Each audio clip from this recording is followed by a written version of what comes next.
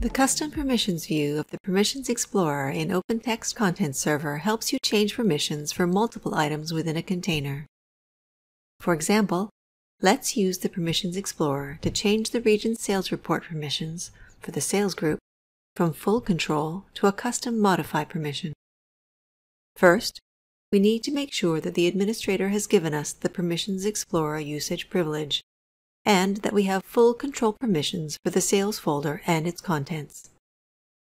Then, we'll go to a report in the sales folder and open its View Permissions page. After clicking to open the Permissions Explorer, when it opens, we'll switch from the Simplified Permissions view to the Custom Permissions view because we're going to make bulk permissions changes. The Custom Permissions view shows the parent container, the sales folder, at the top and then list the child items. The columns of checkboxes correspond to the color-coded permissions. All child items are expanded to show their permissions, and for comparison, we can expand the parent container.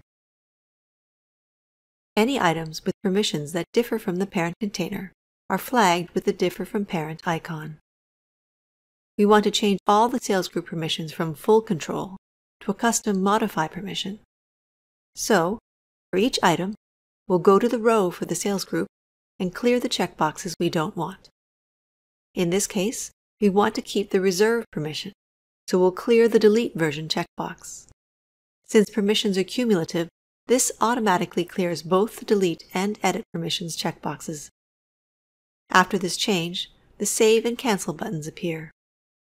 We can save each change as we go, or we can make multiple changes and then make multiple saves. Thank you for watching.